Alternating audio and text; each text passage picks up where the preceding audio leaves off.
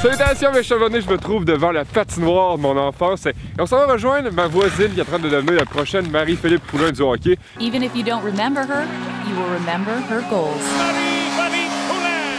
Shot scores. It's Poulin again.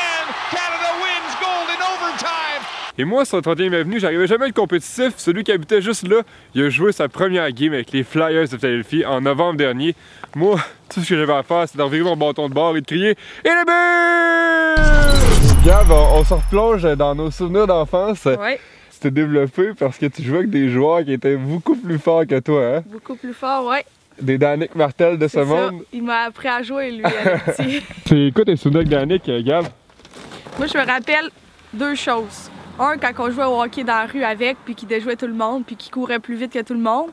Puis deux, quand on jouait à cachette puis se boyer chez eux, là, puis il fallait aller toucher au poteau en premier, mais lui, il courait plus vite que tout le monde. Fait que des fois, il m'amenait sur ses épaules. Fait qu'on... J'arrivais en premier avant son frère puis mon frère. Moi, j'étais j'étais bien contente. là. Bon, ben Gab, comme il te manque un passeur, hein? Ben là, Oh, oh, oh! je vais sortir mon chandail de Danick Martel. Et voilà. Ça, ça va être mon heure de gloire. J'ai jamais eu les skills de Danick, mais là, c'est comme si j'étais lui. Je vais sortir le joueur d'un NHL en moi. Tous les joueurs de hockey ont un rôle à jouer. C'est de même ça marche si tu veux gagner. Puis euh, Gab, euh, avec ce chandail-là, t'as accompli tout un exploit. Oui, oui, monsieur. En 2015, les Jeux du Canada, on a remporté l'or alors que j'avais 15 ans. J'ai tout le temps été le défenseur, fait que c'était tout le temps moi qui avait l'air d'un code. Même si je sais un calme fiscal, je vais pas encore avoir. ouais, gars, à moins 22, il fait un peu trop fret. Ouais. euh.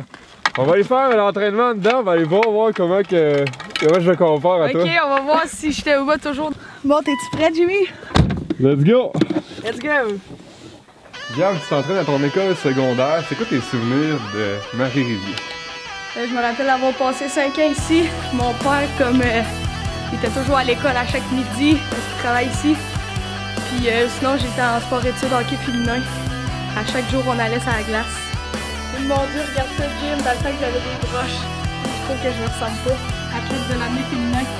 Gab, ton nom est deux fois petit. Ouais. T'en souviens plus? Je pensais juste une fois. Bon, ben Gab, là, je vais essayer de faire ton training. Ok. Premier atelier, c'est quoi? Là, ça va être les jumps sur euh, box.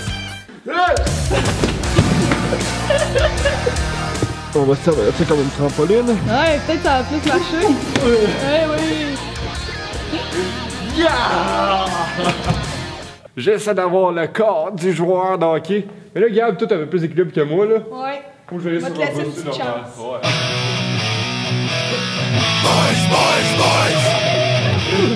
va se mettre un peu de poudre.